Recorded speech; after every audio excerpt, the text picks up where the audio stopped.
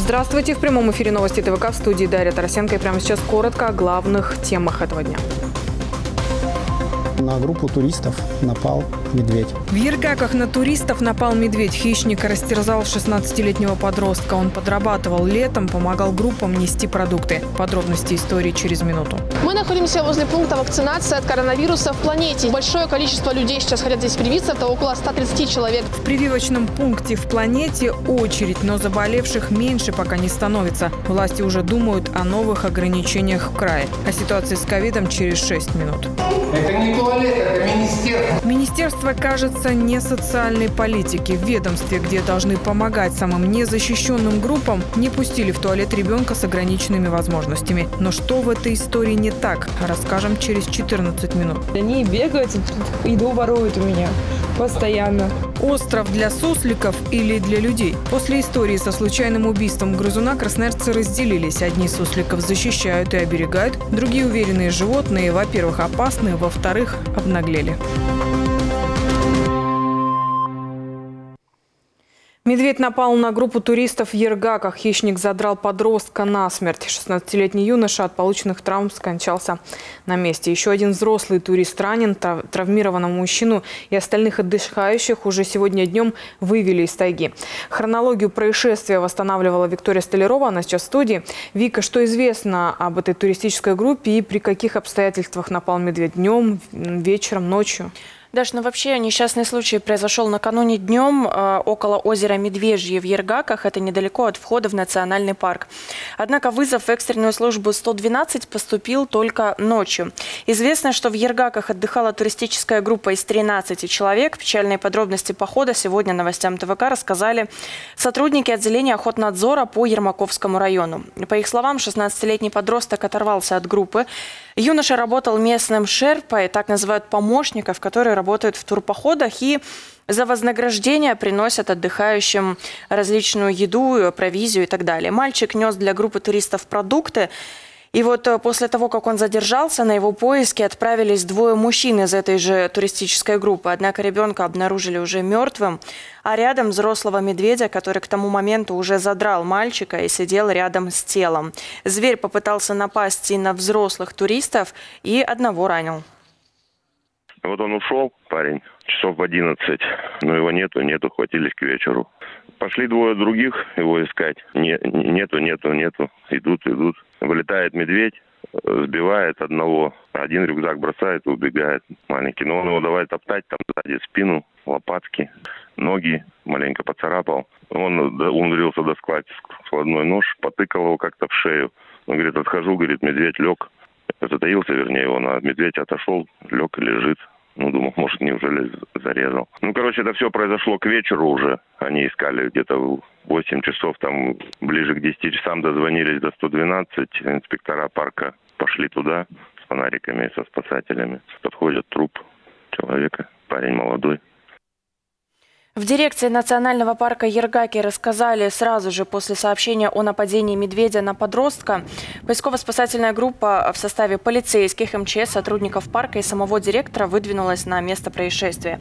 Тело погибшего подростка, который подрабатывал помощником в тургруппе, нашли около ручья Медвежий. Рядом с ним находился пострадавший мужчина, выживший в схватке с медведем благодаря ножу, которым и оборонялся. После выслеживания медведя-людоеда убили. А, вот по этим кадрам, собственно, можно оценить, насколько огромный был хищник. Директор национального парка назвал несколько причин трагедии. Во-первых, затяжная холодная погода и большой покров снега не позволяют медведям полноценно кормиться. Во-вторых, сотрудники коммерческого палаточного лагеря решили спрямить путь до лагеря, проложив его по пехтарнику вдалеке от официального туристического маршрута. Известно также, что эта туристическая группа из 13 человек была сборная, то есть люди были из абсолютно разных городов. Изначально говорилось о том, что свой маршрут они не регистрировали в МЧС, однако уже ближе к вечеру спасатели официально прокомментировали эту историю и рассказали, что группа была оформлена по всем правилам, и поэтому их так быстро и нашли в лесу.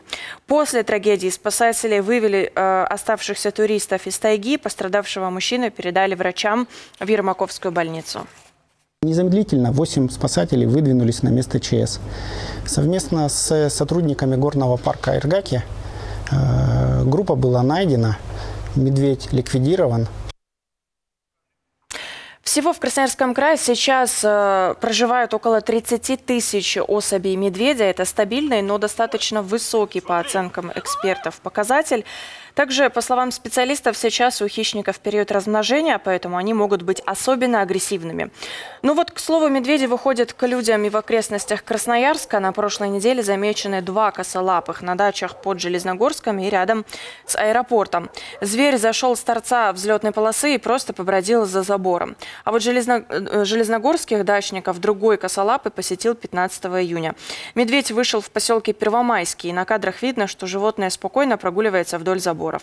Местные вызвали полицию, но когда правоохранители приехали, зверь уже скрылся. Ну, а вот напасть медведи могут в трех случаях. При защите своих, своего потомства, при защите своей территории или пищи. И если встреча с хищником все-таки случилась, то вот советы от опытного обитателя тайги и директора охотничьих угодий Григория Микова. При встрече с медведем самый лучший, конечно, если есть зажигалка или спички. Если получилось так, что он не напал не, не внезапно, а вы его все-таки предупредительно увидели, э, не бежать от него, не э, пытаться кричать или еще что-то громко. Э, нужно сделать как? Лучше всего, то есть снять даже простую, вот, допустим, с себя какую-то одежду, какая бы этого ни была. Хорошо, если она хлопковая, допустим, а не, не получается одежда, ну не, не капроновая, ну хотя бы горя, горячая. То есть в лучшем случае ее намотать на руку.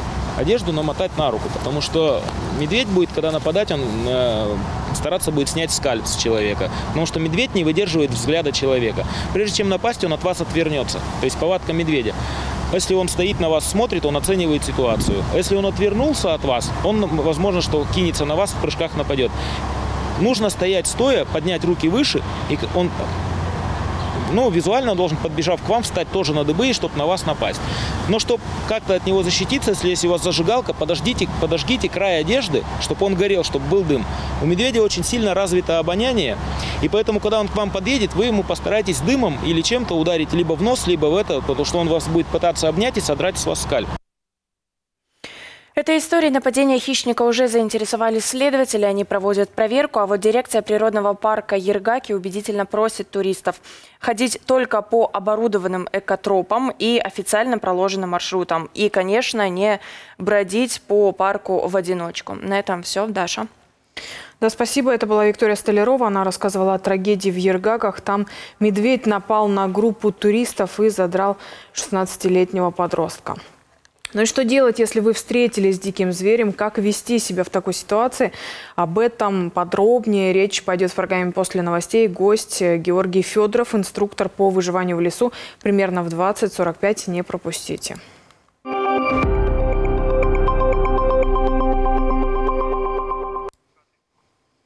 Красноярском крае могут ввести новые ограничения из-за коронавируса. Об этом заявили краевые власти. Количество больных сейчас растет очень быстро. Если неделю назад в крае было 122 заболевших, то сегодня уже 158. И если рост продолжится, то власти хотят ввести ограничения по примеру 2020 года. Правда, о каких конкретно мерах идет речь, пока не ясно. В целом же по России сегодня небольшой спад заболеваемости. И последние четыре дня в стране фиксировали больше 17 тысяч случаев э, заболевания. Сегодня же их чуть больше 16 с половиной тысяч. Зато сегодня антирекорд по смертности. За сутки скончались 546 человек. На этом фоне власти еще активнее стимулируют прививочную кампанию. Еще два региона России ввели обязательную вакцинацию. Это Нижегородская и Мурманская области. Поставить прививку там должны работники сферы услуг, ЖКХ, торговли и госслужащие. Министр здравоохранения России Михаил Мурашко сегодня заявил также, что всем студентам необходимо вакцинироваться перед началом учебного года и желательно до 1 июля. Также обязательную вакцинацию для некоторых групп населения сейчас обсуждают и в нашем регионе. Ну и, похоже, из-за роста заболеваемости многие красноярцы решили все-таки поставить вакцину. В планете даже очереди. Там работает пункт вакцинации. И в последние дни, говорят красноярцы, людей там слишком много. Чтобы поставить прививку, приходится ждать больше двух часов. Мы находимся возле пункта вакцинации от коронавируса в планете. Здесь, несмотря на будний день, много народу, около 50-60 человек, но все они соблюдают социальную дистанцию и, конечно же, масочный режим. Как нам рассказали сотрудники планеты, большое количество людей сейчас хотят здесь привиться в этом пункте вакцинации. Это около 130 человек в день. Поэтому было решено увеличить и количество медиков, которые ставят прививки. Сначала их было всего два, а теперь красноярцев обслуживают пять медиков. Но даже такого количества врачей не хватает на всех желающих. И хотя поставить прививку здесь можно быстрее, чем в поликлинике и без записи, все равно хочется больше таких пунктов, говорят красноярцы. Не то чтобы сильно, но подустали, да. Хотелось бы побыстрее, конечно, потому что народу очень много приходит. И, видимо, человека одного не хватает, который ставит прививки. Если честно, думали, что здесь будет меньше народу. Как-то непонятна очередь. Я не понимаю, вот они за кем-то заняли, а за кем они тоже не понимают. Вот какой-то хаос в зале. Я думаю, что если бы здесь кто-то был бы администратор, как-то бы давали номерки там или как-то вызывали, вот было бы удобно, конечно. Я сначала обратилась в свою поликлинику по месту жительства, там вакцины закончились. В следующей поликлинике запись на июль месяц, поэтому принято решение сюда приехать. Пункты удобно, но их должно быть просто больше. Пункт вакцинации появился в планете около недели назад на втором этаже торгового комплекса. Любой желающий может поставить прививку от коронавируса без записи ежедневно, кроме воскресенья с 10 утра до 8 вечера. Не забудьте взять с собой СНИЛС и паспорт. На вторую прививку нужно прийти в этот же пункт через 21 день. Точную дату вам сообщат медики. Пункт вакцинации также есть и на ЖД вокзале. А в Москве начинают работать ковид-фри зоны. Проще говоря, это места, где с клиентами общаются только вакцинированные сотрудники, а пройти внутрь можно исключительно по сертификату о вакцинации. Пока это эксперимент, его уже поддержали больше ста ресторанов столицы. На данный момент заведения готовятся, но уже со следующей недели обещают запустить проект в полную силу. Как это будет работать? На входе у посетителей обязательно попросят предъявить QR-код о вакцинации. Сертификаты о прививке должны быть и у всех всех сотрудников. По плану по такой схеме сначала заработают 20 заведений, какие именно пока власти не сообщают, а потом постепенно ковид-фри зоны появятся и в других ресторанах и кафе. Если эксперимент будет успешным, московские власти разрешат рестораторам работать и после 11 вечера, а сейчас в столице действуют ограничения на работу общепита. Но эту тему мы продолжим обсуждать с нашим красноярским ресторатором Анатолием Ващенко. Он на связи. Здравствуйте, Анатолий. Здравствуйте. А скажите, как думаете, могут ли у нас такие covid-free зоны появиться? И главный вопрос, нужны ли они нам, красно красноярцам, сейчас? Лично мне кажется, что нужны. Более того, я бы всеми силами поддерживал организацию таких э, covid-free зон, потому что мы уже устали работать. Наши ребята устали работать в масках, перчатках. Я понимаю, что это еще один шаг к тому, чтобы мы освободились, наконец, от этих, э, на мой взгляд, не совсем адекватных систем защиты, потому что, ну, настолько, как хотелось бы, они не защищают. И тем более мы бы э, чувствовали сами себя в безопасности, потому что сейчас, э, с точки зрения гостей, они приходят, ну, незащищенными, максимум, что они позволяют себе дойти до места без маски. При, при этом с нас требует работать именно со всеми средствами защиты. Соответственно, появление гостей, которые уже прошли вакцинацию и уже имеют защиту от коронавируса, ну, мы бы только приветствовали. Ну вот в вашем холдинге уже все сотрудники привиты или вот процесс идет? А, ну, я лично считаю, что это большая проблема. А, я сам лично участвую в пропаганде того, чтобы мы, а, наши сотрудники активнее прививались, потому что только это приведет к скорейшему освобождению нас от всех возможных ограничений.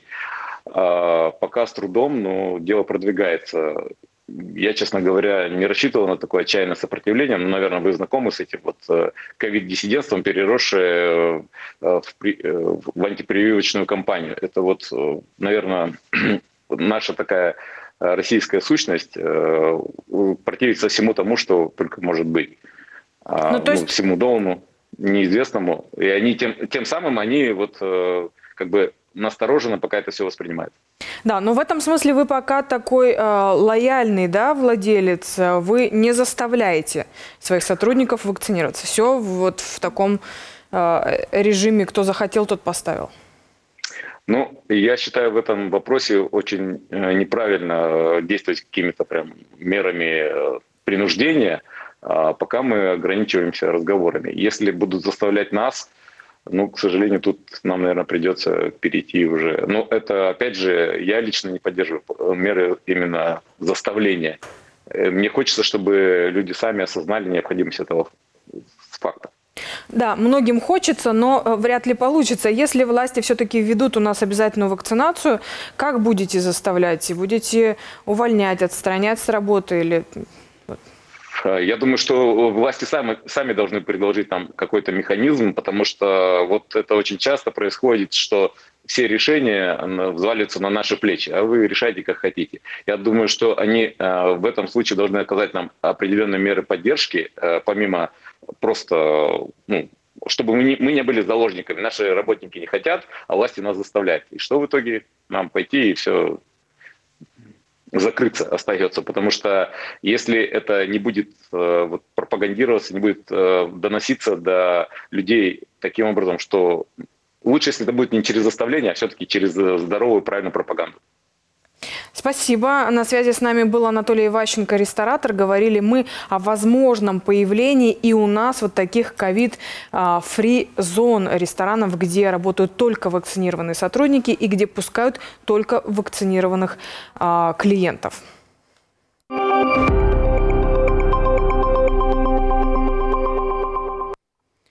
Красноярские мать с ребенком с ограниченными возможностями не пустили в туалет здания Министерства социальной политики. Охранник сослался на карантин в ведомстве. Эта история сейчас одна из самых обсуждаемых в сети. Все произошло еще на прошлой неделе. Инцидент женщина сняла на видео, однако эта история получилась неоднозначной. На кадрах видно, что запись включена с самого начала. Охранник спросил, по какому поводу пришли посетители. Не расслышав, он попросил мать ребенка приспустить маску и повторить ответ, но она внезапно перешла на крик. Такое поведение женщины, а, ну, наверное, вывело охранника из себя, и в просьбе воспользоваться туалетом он отказал. После этого и начался скандал. Маску приспустите, скажите. Туалет попасть! Туалет попасть? Ну. Это не туалет, это Министерство социальной политики. Это не туалет. Вам смешно? Нет, мне вообще ни капли не смешно. Ну, тогда пустите в туалет, если вам не смешно. Извините. Откуда вы знаете? Мы что, с документами пришли, что ли, с какими-то? Мы просто в туалет пришли. Сергей Михайлович, туалет Здесь, во-первых...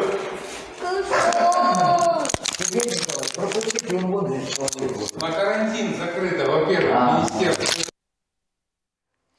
Перепалка в итоге длилась около 8 минут. Несмотря на уговоры других сотрудников ведомства, судя по видео, в туалет женщину с ребенком так и не пустили. В соцсетях пользователей возмутило, что Министерство социальной политики, которое по сути и должно оказывать помощь людям, отказало даже в самой элементарной помощи. Сама женщина после этого пошла в краевую прокуратуру, здание, которое находится рядом с министерством. В ведомстве рассказали, что этот охранник работает там недавно, он замещает другого сотрудника на время отпуска. И так как в министерстве есть случаи заражения коронавирусом, то мужчина, видимо, проявил излишнюю бдительность. Маме и ребенку сотрудники Минсоцполитики уже принесли извинения. А женщину, которая поставила на колени девятилетнего мальчика, задержала полиция. На нее завели уголовное дело по статье побои. Напомню, 35-летняя красноярка поставила на колени школьника, который якобы оскорбил ее пятилетнего сына и потребовала от мальчика извинений. Но даже когда ребенок попросил прощения, женщина не отпустила школьника. Прохожие попытались заступиться за мальчика, но пьяный сожитель красноярки мешал им, завязалась драка.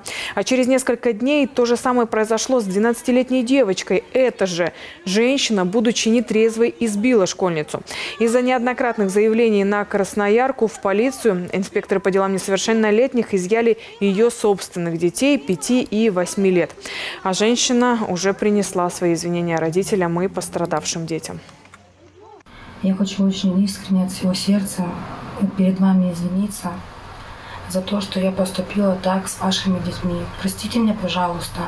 И я еще лично перед вами извинюсь, когда я вас увижу. Буду извиняться перед вами и перед вашими детьми. Простите меня, пожалуйста. Сейчас следствие обратилось в суд, чтобы отправить женщину под домашний арест. Расследование дела продолжается.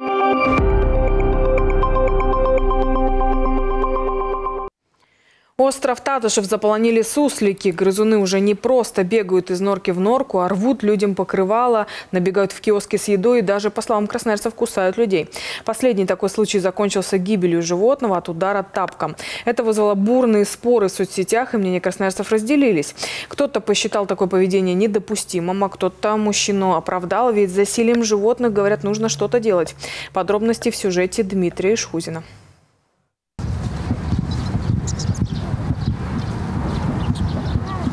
Символ острова и любимцы детей, маленькие суслики, похоже, стали все чаще надоедать некоторым красноярцам. Милые животные уже не просто едят с руки морковку и позируют на камеру, а переходят в наступление. Достается и покрывалом, и забытым контейнером с едой. И сейчас грызуны уже не кажутся такими безобидными. Красноярцы сейчас активно спорят, а немного ли стало на острове сусликов. А поводом послужила история, когда мужчина тапком убил одного из грызунов. Весь остров суслики разводятся, а вы их убиваете. Кто их разводит? Вообще. Что, стыдно, да? Мне абсолютно не стыдно. Сам мужчина сейчас утверждает, что раскаивается и признается, что хотел только припугнуть животное, когда тот укусил его жену, но не рассчитал силу. Он укусил жену, она в какой-то момент взвизгнула, и такая была рефлекторная реакция. Там никто никакого умысла, чтобы там действительно его прибить. Я жалею, что это случилось, понимаете? Я искренне об этом жалею. И никто, я в том числе, я не хотел, все, чтобы это получилось. И вот после этого разгорелись жаркие споры. Кто-то встал на защиту маленького животного, ведь это не суслик пришел в квартиру к мужчине и занял его место, а скорее наоборот. Красноярец Вадим даже объявил награду за имя мужчины, подозреваемого в убийстве – 10 тысяч рублей. По его мнению, животных нужно беречь, а мужчину стоит наказать по букве закона. А денежный бонус – это чтобы полиция быстрее нашла преступника. Прозвучала информация, что, ну, типа, якобы он, э, кто-то написал заявление на этого гражданина гражданина. Я уже не раз сталкивался с такой ситуацией, что заявление, ну, просто оно списывается на нет, так как человека, ну, тип, типа не нашли его. И, соответственно, я хотел найти этого человека и написать заявление уже на конкретную личность. Элементарный административный штраф, как у нас в стране-то это и принято. На другое, я думаю, вряд ли судья что-то ему выпишет. Правда, с данными мужчины к Вадиму так никто и не пришел и деньги не получил. Скорее наоборот, многие встали на защиту Александра. По их мнению, летом тысячи красноярцев ежедневно убивают сусликов тем, что закармливают их печеньем или хлебом, что грызунам категорически противопоказано. Да и нужный корм в большом количестве может легко привести к смерти, уверены специалисты. Вдобавок ко всему, каждый, кто приближается к животному, попадает под риск. Руки однозначно будут инфицированы, если там каким-то образом с ними контактировать однозначно инфекционные заболевания. Это без разговоров, потому что та скученность сусликов, которая есть на острове Татышев, ну и в любом случае, да, ведь мы же знаем крысы, голуби, ну я бы, наверное, сюда бы отнес бы сусликов, там, мышей, да, это вот те, кто постоянно роются в каких-то наших отходах и ну, вольно или невольно разносят все вот эти вот неприятные, в том числе и опасные для людей заболевания. Пока же суслики на острове чувствуют себя вольготно и только продолжают плодиться в нынешних условиях и будет все больше больше и больше уверены специалисты. В Татшев-парке честно признаются, популяцию они не контролируют, да и зачем, суслики уже стали символом города. Как мы можем следить за их популяцией? Грубо говоря, они начинают весной размножаться, через 29 дней у них от двух там, до, по-моему, до 12 как я не знаю, их особей, потомства. Они живут на этой территории. Мы, будем так говорить, пытаемся вместе ассоциироваться здесь с ними. Это их жизнь, это их среда обитания. Без них уже, без них уже никак. Пока красноярцы поделились пополам и спорят, какое наказание должен понести мужчина за удар по суслику и должен ли вообще, зоологи уверены, что лучшим решением для жителей города станет перестать кормить грызунов чем попало и учиться жить вместе. Дмитрий Шкузин, Владимир Антонов, Новости ТВК. Ну, сегодня мы спросили у горожан, как они относятся к сусликам на острове Татышев, и вот какие ответы получили.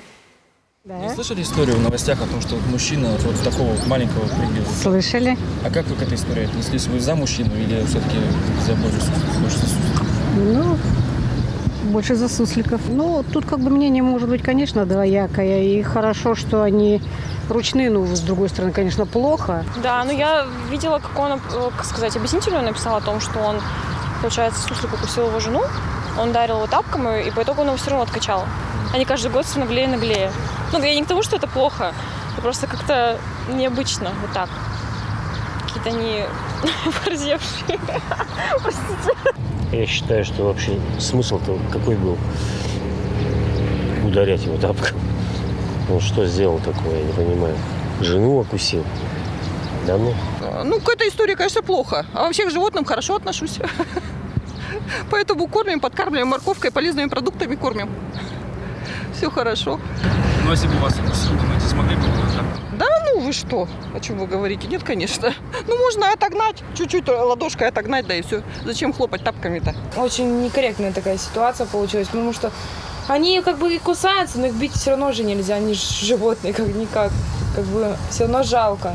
Как бы они вот здесь и бегают, их гоняешь, гоняешь, они все равно там подойдут, там тебе подласкаются, все равно кормить приходится их. Ну, я вот стараюсь их не трогать, как бы, тоже вот салфеточки, там, ручки протереть, и это э, тоже думаю, что переносчики какие-то являются они. В Москве, да, такого нет. Это абсолютно уникальная, уникальный парк, где можно с руки покормить, тем более сусликов. У нас в Москве ни белок не в каждом парке покормишь, потому что белок мало, и птиц даже не покормишь. Здесь прям, наверное, их на руки можно взять, они прыгают на руки, с радостью общаются.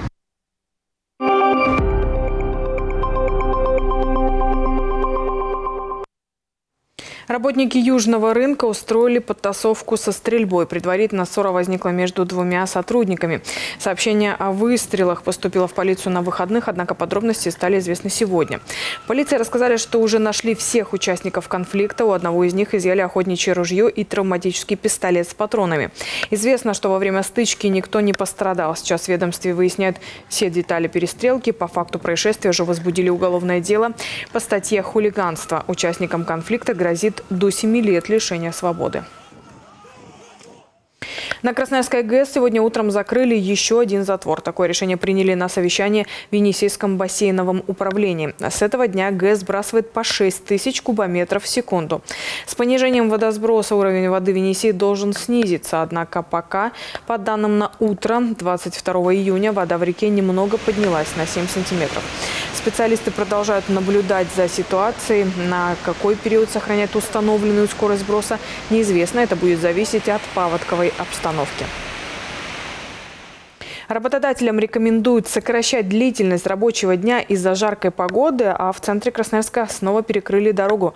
Подробнее об этом и не только в рубрике «Новости коротко».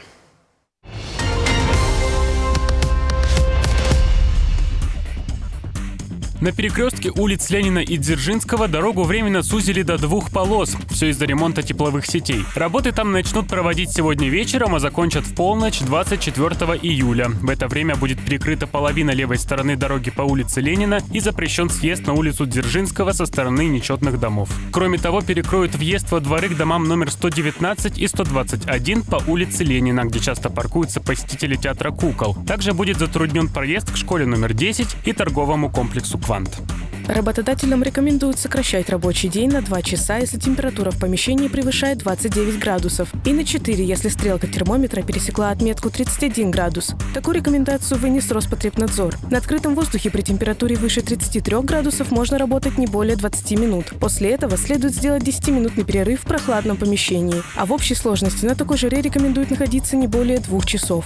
Под Красноярском неизвестные устроили свалку гнилых помидоров прямо на дороге. Как говорят жители близлежащего поселка Лукино, три дня назад овощи привезли на грузовике и вывалили на обочину. Люди предполагают, что это сделал кто-то из предпринимателей. Несколько десятков коробок с переспелыми овощами теперь тухнут под палящим солнцем, а общественники зовут фермеров, чтобы те забрали помидоры на корм свиньям.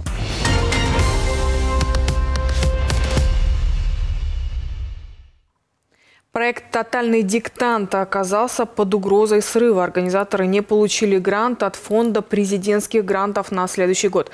Об этом на своей странице в Facebook сообщила руководитель проекта «Тотальный диктант» Ольга Рябковец. По ее словам, это не было для них неожиданностью. Скорее всего, это случилось после того, как в этом году автором текста выступил писатель Дмитрий Глуховский. Он высказывался в поддержку оппозиционера Алексея Навального. Из-за этого во время диктанта произошел скандал. Буквально за час до начала мероприятия диктаторы по всей России стали отказываться читать текст.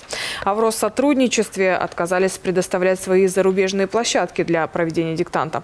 Тем не менее, несмотря на отсутствие финансирования, в следующем году диктант все-таки состоится, заявила Рябковец.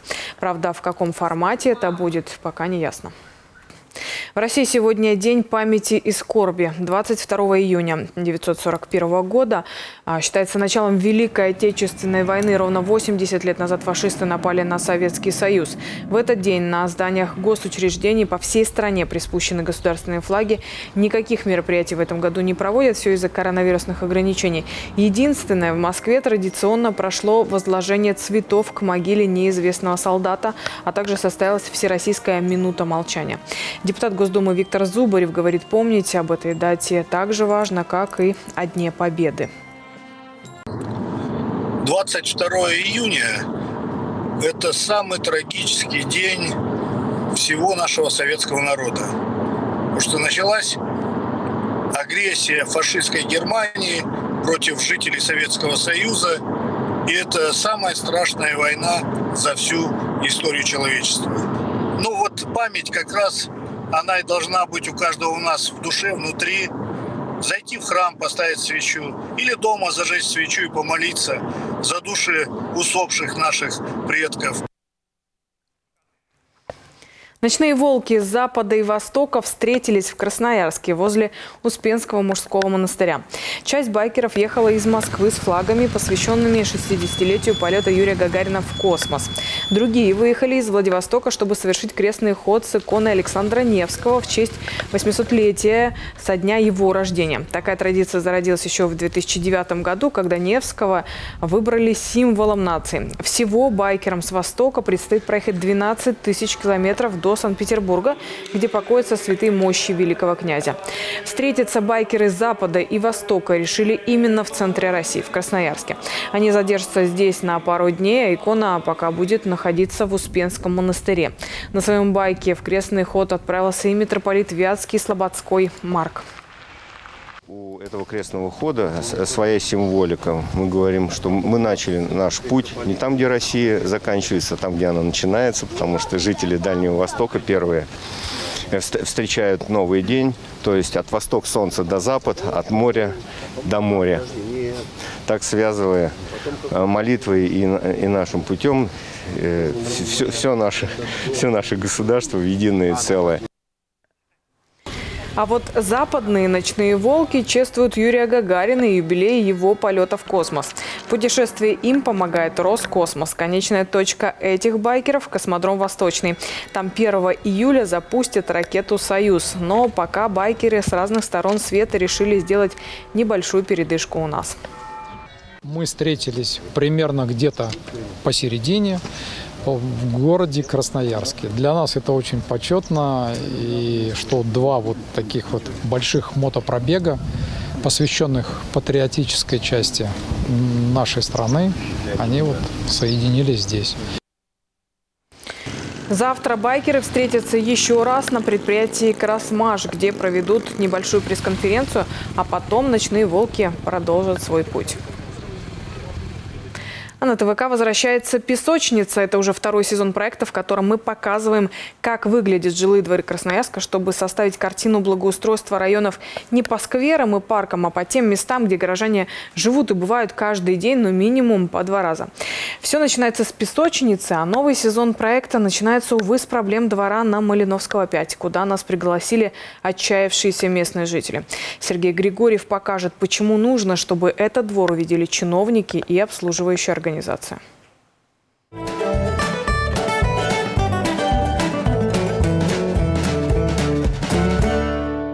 Песочница продолжает отвечать на ваши, уважаемые телезрители, приглашения Малиновского 5. Там, где мы находимся, и вот что нам написали про этот двор. Темно, старая площадка, ужасно грязная. Двор на три дома, а гулять негде, пишет Ольга Кузнецова нам в Инстаграм. Плюс 27 солнечную погоду. Тот факт, что в этом дворе темно, и здесь можно спрятаться под тенью деревьев, на самом деле, мне кажется, позитивным. Если вы сейчас остановитесь и прислушаетесь, то, возможно, услышите, как из мечети доносится голос э, местного служителя, наверное, имама.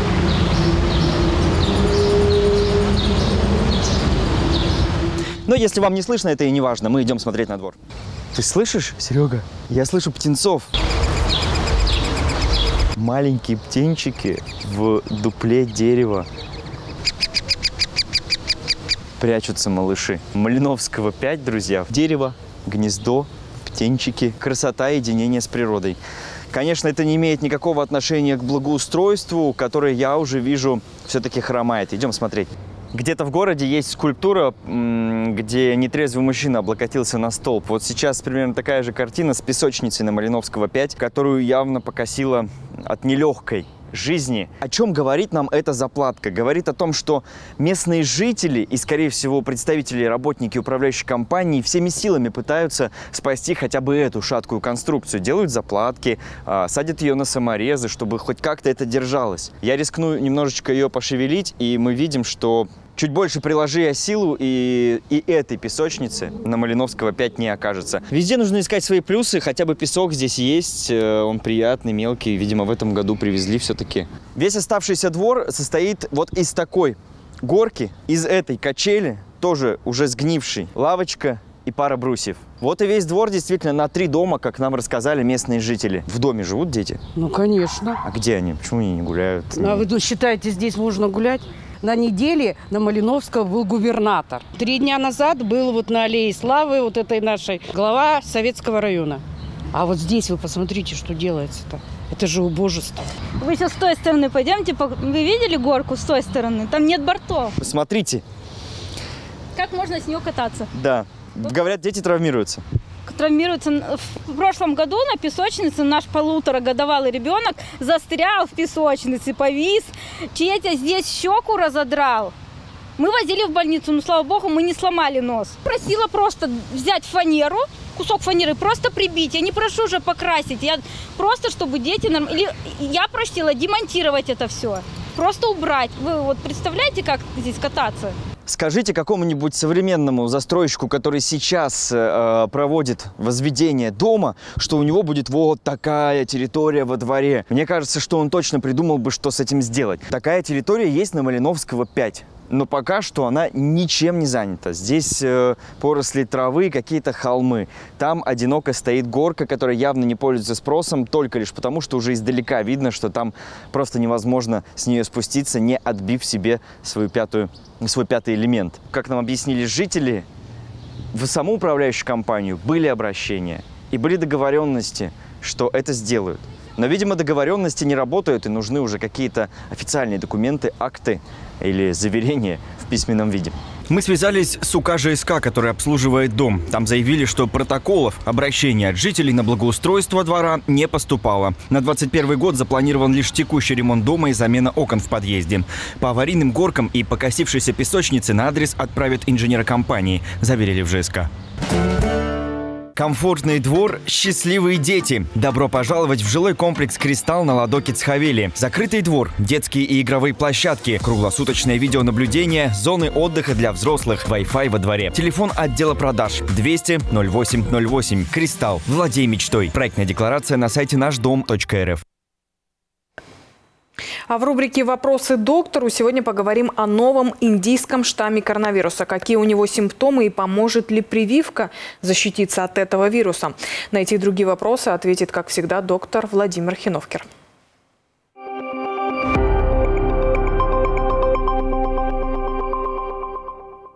Здравствуйте. Это «Вопросы доктору» и я врач-интенсивный терапевт Владимир Хиновкер. Сегодня поговорим про индийский штамм коронавируса. Говорят, сейчас в Россию пришел новый индийский штамм коронавируса. Так ли это? Действительно, большие лаборатории показывают, что мутированные формы вируса присутствуют. И, как и положено, более заразные штаммы начинают распространяться быстрее, чем обычный китайский вирус, и постепенно занимают нишу вирусную. И их становится все больше и больше пациентов с этим видом коронавируса. Есть ли у него специфические симптомы? Ну, клиника вируса действительно меняется, клиника заболевания меняется, и мы это видим. А, во-первых, э, у пациентов реже стала появляться анасмия, то есть потеря обоняния. А, большая часть пациентов сегодня уже не жалуются на потерю обоняния. А, и напротив, стали появляться чаще э, респираторные симптомы, сухой кашель, насморк, больше пациентов с диареей. И это, безусловно, проявление мутированных форм э, коронавируса. Во-вторых, нужно сказать, что коронавирус сегодня действительно помолодел. Около 40% больных в стационарах младше 60 лет. И если раньше молодые пациенты были только с тяжелыми сопутствующими заболеваниями, э, с иммунодефицитами, с сахарным диабетом или еще с какими-то проблемами, то сегодня мы видим 20-30-летних пациентов и даже в реанимационных отделениях с тяжело протекающим заболеванием без сопутствующей патологии.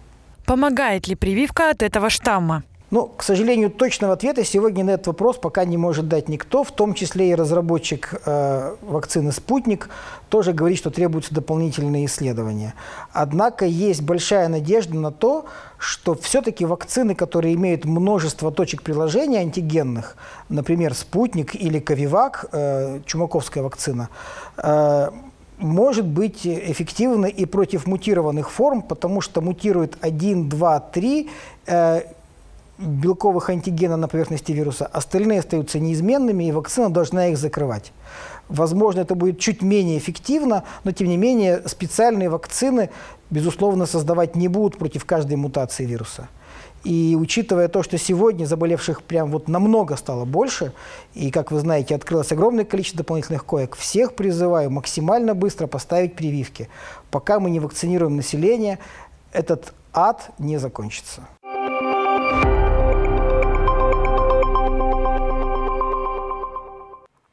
Напомню, свои вопросы доктору Хиновкеру вы можете задавать по телефону 200 2065. Также пишите Viber, WhatsApp по номеру 8 923 1 65 45 00, ну и в любых социальных сетях ТВК.